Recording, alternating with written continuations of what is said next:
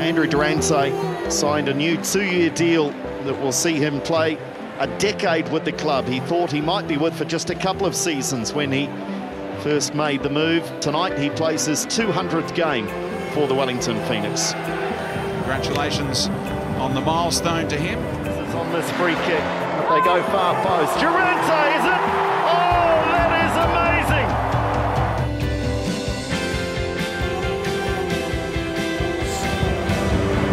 Delivery as well. There's the equaliser, the rehearsed set piece. 90th A-League game and all for Andrew Durante. Of course, he had that couple of seasons at the Newcastle Jets as well. Such a popular figure here